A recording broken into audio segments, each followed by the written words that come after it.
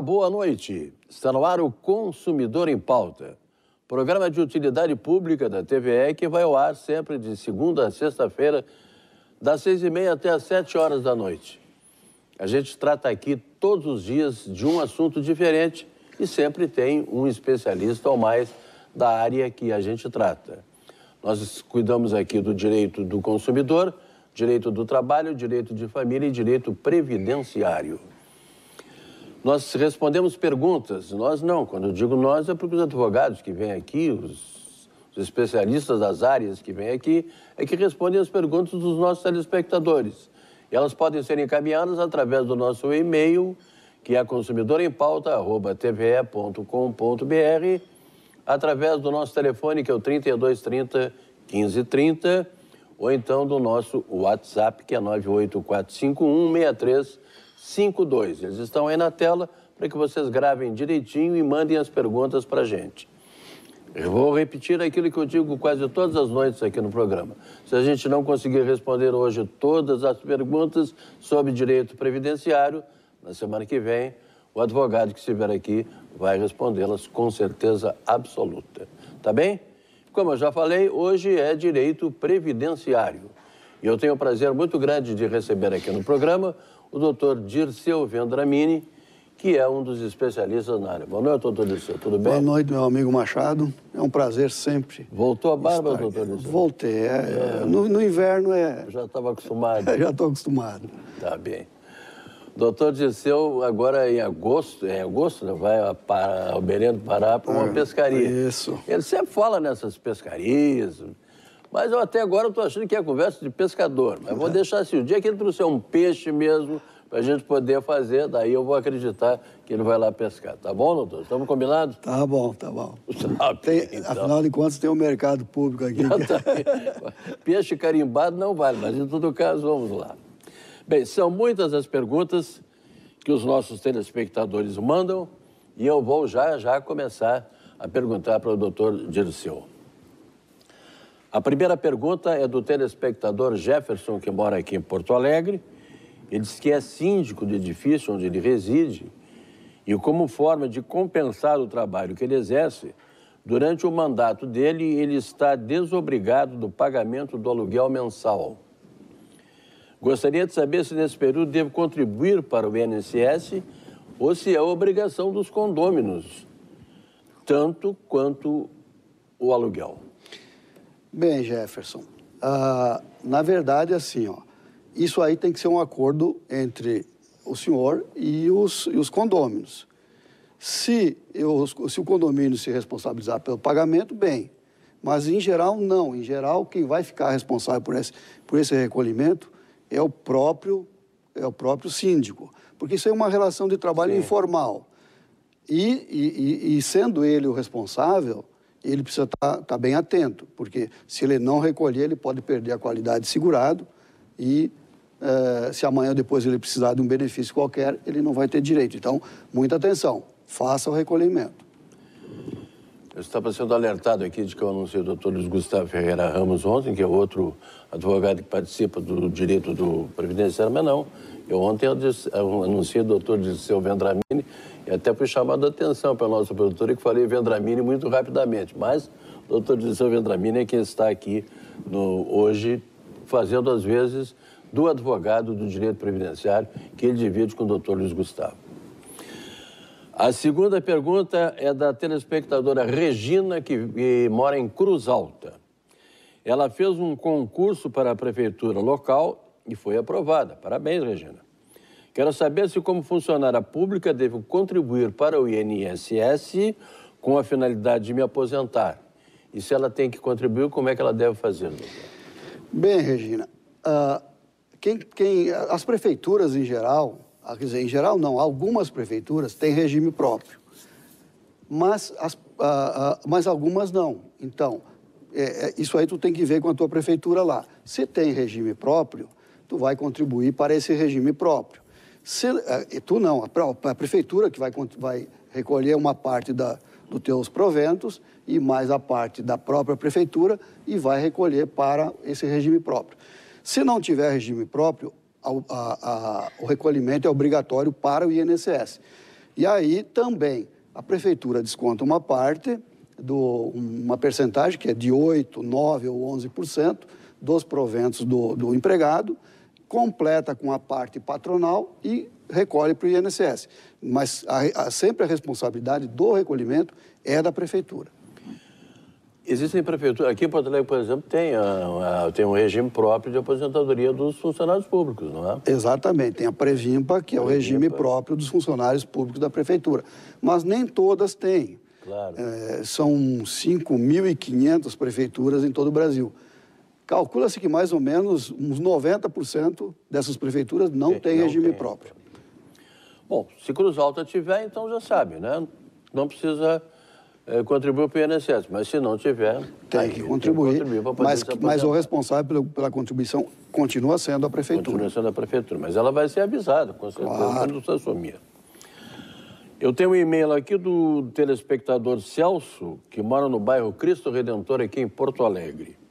Ele diz que já tem 22 anos de contribuição, mas ficou desempregado já faz um ano e desde que perdi o emprego comecei a recolher 20% sobre o salário mínimo no regime facultativo Código 1406, pois estou parado sem exercer nenhuma atividade remunerada. Estou recolhendo certo? Ele quer saber. Vou me aposentar futuramente? Fui no INSS e disseram que eu deveria recolher no Código 1007. E daí, doutor Disseu, qual é o código? É o 1406 ou o 1007? Olha, para dizer a verdade, esse código eu não vou poder dizer, porque eu, eu tenho uma dificuldade em, em, em guardar números. Em guardar números. Mas pode entrar no site do INSS, lá tem os códigos. Mas uma coisa é certa, tem que, tem que contribuir. Claro. E é 20% realmente. Você poderia recolher com 11% também, mas aí tu abriria mão de duas coisas. De se aposentar com valor acima de um salário mínimo e também abriria mão de se aposentar por tempo de contribuição. Você teria só direito a se aposentar por idade. Então, se tu quer preservar esses direitos, dois direitos, um, de se aposentar com valor acima do salário mínimo, e o segundo, que se quer se aposentar por tempo de contribuição, antes de completar a idade, então é melhor contribuir com 20% realmente. E para contribuir com 20% é um código e com 11% é outro código. Então ser um desses dois é, códigos. Talvez seja, mas é bom dar uma olhadinha no site claro. da, da, da, Previdência para ver qual que é o código correto. Tá vendo, Celso? Então dá uma olhadinha aí, que não custa, né? Só quem sabe troca o número aí, faz a contribuição direitinha, que é para chegar na hora da aposentadoria, está garantido não lá. Não tem problema. Com o melhor, né? Não tem nenhum problema no futuro. É. A dona Clarice mora aqui em Porto Alegre. Ela tem 50 anos de idade e 30 anos de contribuição, pois trabalho desde os meus 20 anos. Gostaria de saber se tenho direito à aposentadoria ou quando terei. Ela já tem direito à aposentadoria.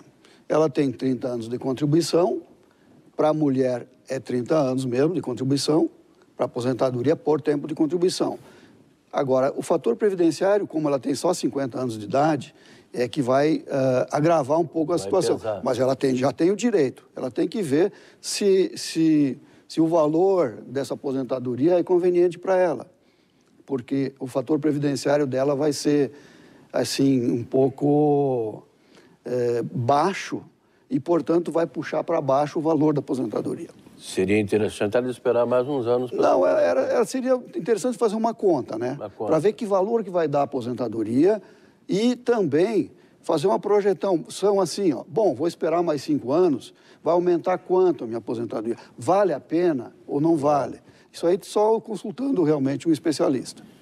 Tem que procurar um advogado da área, né? é, é quem vai poder. Ela é da fazer. onde? Ela é aqui de Porto Alegre. É, né? procurar alguém que ou ela mesma fazer a conta, ou então pedir para o pessoal do INSS fazer a conta. Claro. Né?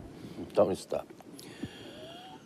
A próxima pergunta é do telespectador Domingos. Ele mora em Viamão.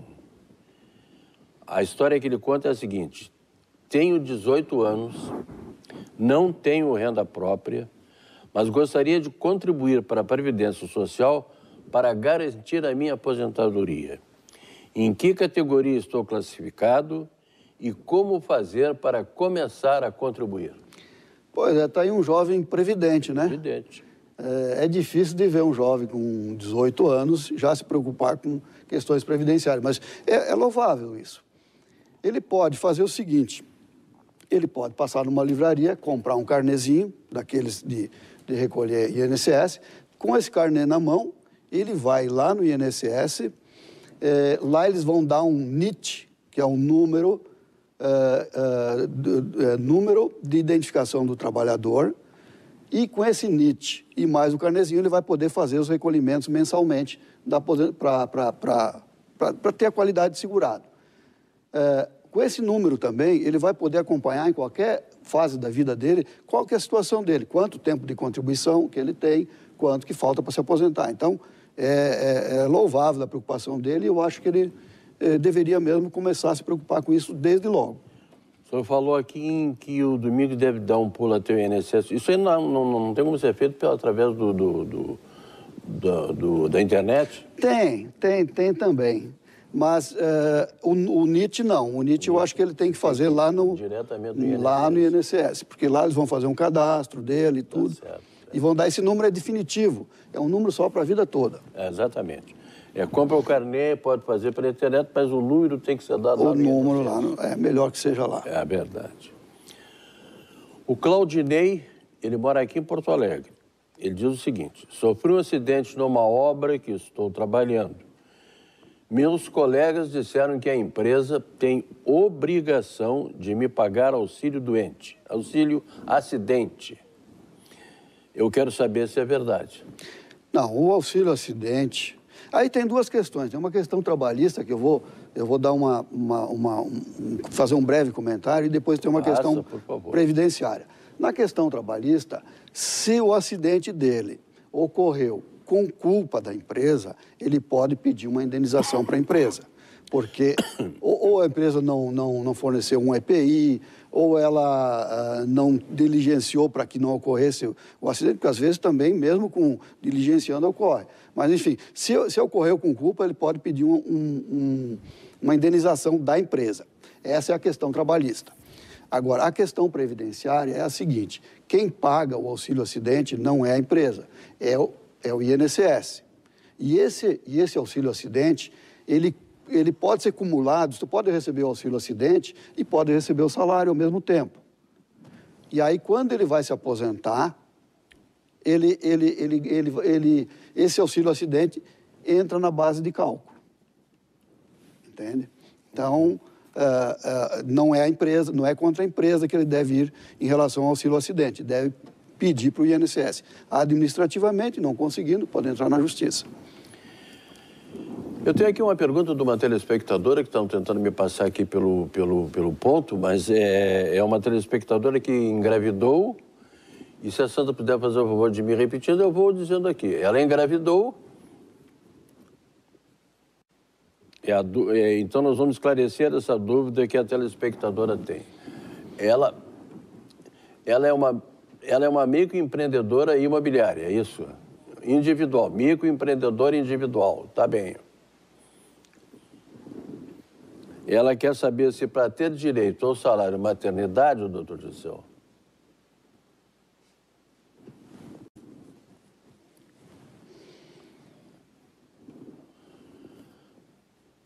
ela quer saber, então, o seguinte, se ela teria que ter contribuído 10, teria que ter 10 contribuições até ficar grávida, né? 10 contribuições anteriores, ou então se ela pode contribuir durante a gravidez. É, ela tem que ter começado a contribuir antes de, da concepção. Uhum. Né? E aí, é, naturalmente, se ela, se ela começou a contribuir antes da concepção, quando chegar é, perto da concepção, ela vai ter a qualidade segurada e vai ter direito a, ao, ao auxílio maternidade. Começar a contribuir depois é, que ficou grávida já é mais complicado, né? É, já é mais complicado. E o senhor tem ideia de, de, de quanto tempo ela teria que ter de contribuição até engravidar? Não, ela pode, por exemplo, é, começar um mês. Um mês? Né? No mês seguinte. No mês seguinte ficou grávida. É, ficou grávida, porque aí já, né? Aí ela já tem direito a, ao auxílio maternidade. Ela, ela, é, porque, assim, ó, ela, ela é micro, microempresária. microempresária. Quando ela, se ela é microempresária, quando ela, ela começou a ser microempresária, ela já tem é, a obrigação de estar tá contribuindo. contribuindo. Se ela está contribuindo dentro da obrigação dela, quando ela engravidar, ela vai ter direito a, ao auxílio maternidade. Não tá tem certo. problema. Bom, se não ficou bem entendido, então, por favor, Sandra, pede para a nossa telespectadora que, que pergunte de novo, que a gente vai tentando esclarecer aqui na medida do possível. Como esse programa aqui é ao vivo, acontece isso. Às vezes a gente recebe uma pergunta importante, quer fazer na hora e faz assim como a gente acabou fazendo. Até nem estava prestando muita atenção na resposta que o doutor Disseu estava dando, mas me comprometo a voltar agora. A Maria Augusta mora na cidade de Pelotas. Ela tem uma filha de 15 anos, portadora de síndrome de talidomida. Isso é uma coisa que aconteceu muito, né? Aconteceu muito dos anos é. 60 para frente. É. Ela, a, a, filha dela tem 15 anos e é portadora da síndrome de talidomida. Ela foi informada que possa requerer um auxílio de previdência, requerer um auxílio de previdência para ela. É verdade, doutor?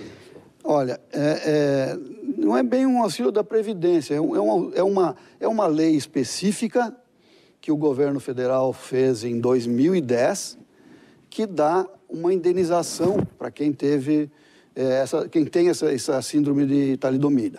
A talidomida era uma substância que surgiu inicialmente para combater enjoos é e, e, e, angústias, assim, da, e, e, foi muito usada por mulheres grávidas, nos anos 60, 70. Depois de um tempo ela foi proibida. Depois descobriu-se outras outras, é, que essa substância combatia outras doenças, inclusive lepra e outras coisas mais. Então, ela. É, só que assim, como o governo não fez uma divulgação muito precisa do que ela poderia ocasionar, essa, essa substância, aconteceu que muita gente acabou usando indevidamente. Então, até hoje, essa menina tem 15 anos, né?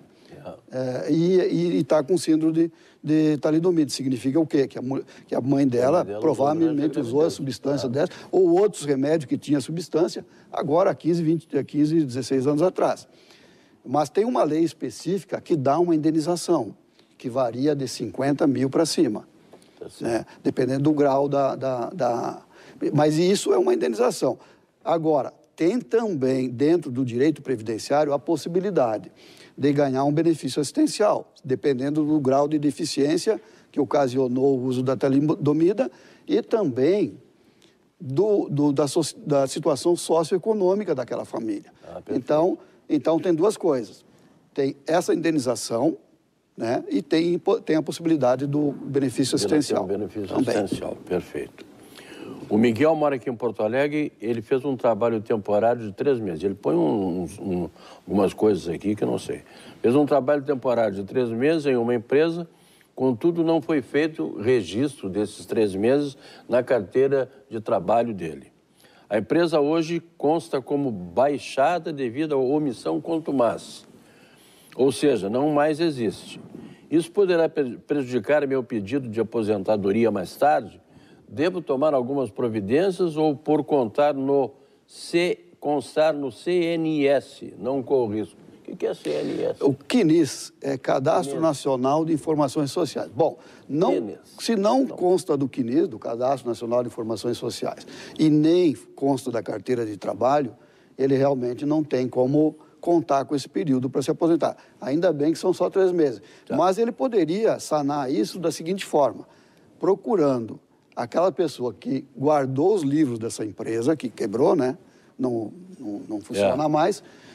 E essa pessoa que guardou esses livros, ele pegar a cópia da, da, da, folha onde ele foi registrado como empregado, que tem a data de entrada e, de, e a data da saída.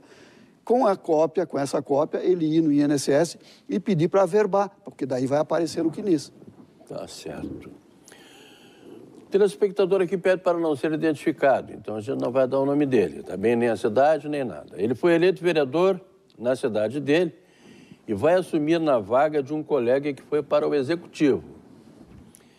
Como recebo auxílio doença do INSS por artrose, gostaria de saber se posso continuar recebendo o auxílio depois da posse, já que ele vai ter um salário como vereador. Olha, é, embora às vezes no, no, no, no âmbito administrativo é, isso aí tenha um entendimento diverso, a jurisprudência entende que sim, que pode. Pode? Que pode. Por quê? que pode. É até entende, bem, é bem razoável isso, porque se a pessoa, por exemplo, tem uma deficiência, uh, uma dificuldade qualquer para executar uma tarefa, ela tem direito a, a, a, a tá, tá em auxílio doença, Sim. né? Mas ela se elege vereadora. Para ser vereador, essa dificuldade que ela tinha para executar aquela tarefa que às vezes Não dependia do esforço físico, não vai impedir, porque Claro. ali é uma questão de, de expor ideias, defender interesses dos concidadãos da cidade dele. Então, é, uma- é- isso é possível, né? Então, ele pode, ele pode acumular o salário de, de vereador e a própria atividade de, de vereador com o benefício de auxílio-doença. Enquanto, claro, perdurar a, a incapacidade para o exercício daquela, Daquela profissão. daquela, daquela profissão dele. Mais ou menos a pergunta, eu acho que é parecida aqui também. O Júlio, lá que mora na cidade de Vacaria, diz que é motorista profissional, sofreu um acidente, não posso mais dirigir e estou recebendo auxílio acidente. Gostaria de saber se trocando o emprego per- perco o auxílio. Não. O auxílio acidente é um auxílio que o INSS eh, concede para as pessoas que sofreram um acidente de qualquer natureza, ou de trabalho, de qualquer natureza, e que, por causa desse acidente, tiveram alguma sequela e essa sequela diminui um pouco a, a- a capacidade de trabalho. Não, não diminui o suficiente para a pessoa dizer que está incapaz. Ela está capaz para trabalhar, mas ela vai executar aquelas, aquela, aquele trabalho dele com alguma dificuldade. Claro. Diminuir um pouco a, a- a capacidade de trabalho. Então, ele vai voltar para o trabalho, vai ganhar o seu salário e vai ganhar o auxílio acidente. Se ele trocar de trabalho, ele continua ganhando o auxílio acidente. Ele continua co- ganhando o auxílio acidente até o dia que ele se aposentar. Quando ele se aposentar, aquele auxílio acidente entra na base de cálculo da aposentadoria dele. E não pode, pode não ser mais motorista, mas pode ser auxiliar de escritório numa outra empresa. E pode ser motorista também, É, se, não, mas se ele, ele puder, né? ele mas ele incapaz, pode, claro, né? não- independe, Claro, independe. independe. Ele pode ser motorista, pode exercer outra atividade que ele vai ter direito e continuar tendo direito ao auxílio acidente. Perfeito. Quero agradecer muito ao doutor Dirceu Vendramini, que mais uma vez abrilhantou esse programa. Muito obrigado, doutor. Eu que Quero agradeço. responder as nossas perguntas sobre direito previdenciário. A mim resta agradecer a todos vocês pela presença, convidá-los para que segunda-feira estejam de volta. Primeiro, eu quero desejar a todos um bom final de semana e lembrar, segunda-feira nós estaremos aqui. O doutor Santini vai responder sobre direito do consumidor. A todos vocês, muito obrigado, muito boa noite e até lá.